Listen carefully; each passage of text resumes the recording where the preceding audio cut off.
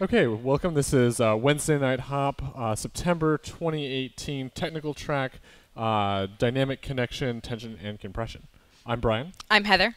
Uh, so this week we talked about sugar pushes and how to add a dynamic connection to your sugar pushes. Mm-hmm. Um, we started by talking about the hand position you need for tension and compression. So for leaders, you're going to want to bend at the first knuckle and keep your arms relatively low. Followers as well, bend at the first knuckle. And then to practice this by ourselves, we did sort of these isometric exercises where we have one hand leading and the other hand following. And then we could practice compression and tension.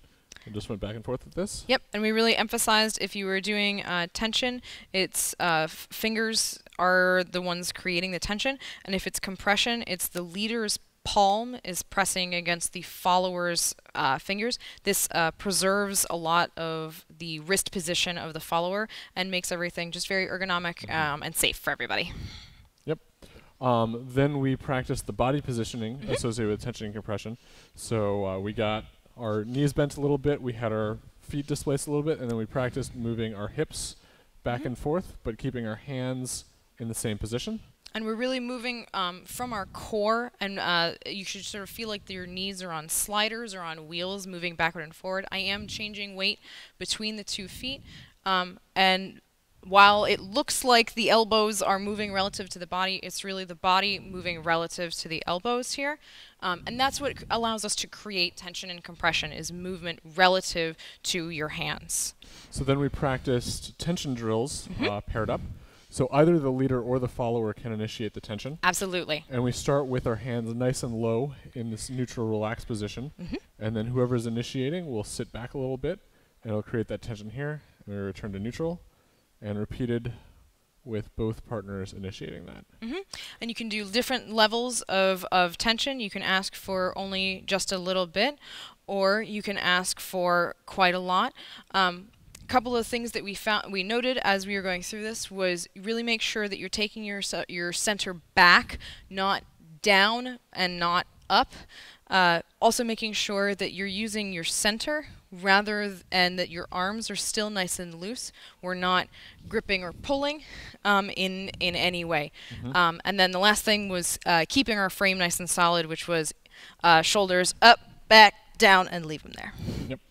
Uh, we then we did the same drill with compression. Mhm.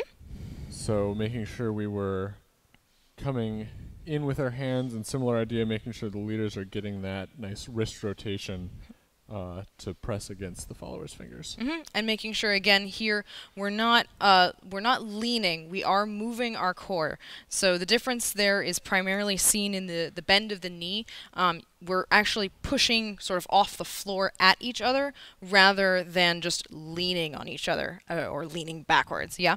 So it's really moving your core. hmm And then we applied that to sugar pushes. So it looks like this: one, two, three, and four, five, and six.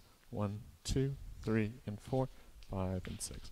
So we wanted to emphasize for the leaders um, bringing your follow towards you on one and 2 Mhm. and so you end up moving back up and through about four.